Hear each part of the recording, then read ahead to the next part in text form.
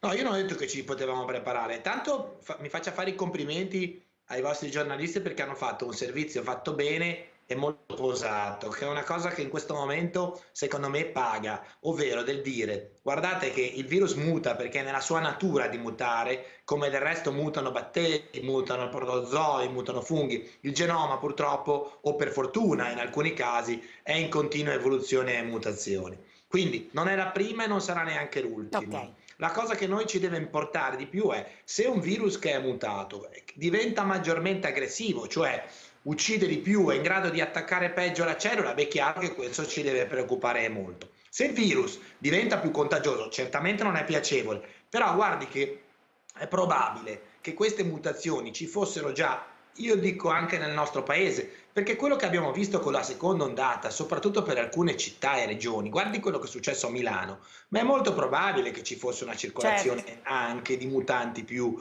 eh, viru- più facilmente diffusibili, perché si è molto diffuso, molto di più di quanto si sia diffuso nella prima ondata. Quindi io dico stiamo calmi, soprattutto dico che stiamo calmi perché questo annuncio che è arrivato dall'Inghilterra è coinciso con l'annuncio da parte dell'Europa e in particolare da parte dell'EMA del lancio del vaccino. Allora molte persone oggi sono scettiche, titubanti, dicono ma se il virus è mutato io non mi vaccino più perché questo vaccino potrebbe non funzionare. Invece quello che noi dobbiamo dire e che la scienza deve dire che la struttura portante del virus, che è la proteina spike, verso la quale si indirizza il vaccino, rimane lei.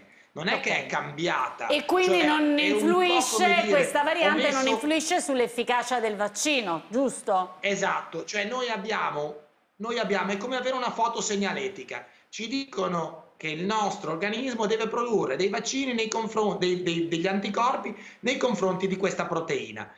Nella realtà, magari questa proteina potrà avere un neo o due brufoli, però noi in ogni caso è un po' come il nostro cellulare, quando ci riconosce la faccia nostra, anche se noi abbiamo un brufolo o abbiamo Mi piace molto questo esempio del nostro brufolo, corpo che non è perché stessa, arriva chiaro, diciamo. così avviene per il Cioè ci riconosce uguale. Allora però Esatto. proviamo, proviamo a riassumere perché vorrei che almeno 3-4 informazioni chiare arrivassero a casa, professor Bassetti.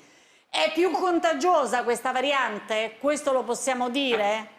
Allora, guardi, anche questo è da provare perché per il momento noi abbiamo le informazioni che arrivano dal governo inglese. Non è una pubblicazione scientifica. Se lei mi dicesse lo ha letto su una rivista internazionale, Ok. no. L'ho sentito dire. Aspetti perché noi poi che abbiamo qualcuno che lo probabilmente sta studiando e quindi magari chiediamo meglio anche, anche a chi lo sta studiando già adesso, no? Ehm, però quello che possiamo escludere è che sia più letale, più pericoloso. Ecco, qualcuno oggi l'ha definito il supervirus. No, non è un supervirus, è Ok. sempre lo stesso virus che può passare più facilmente da una persona ad un'altra.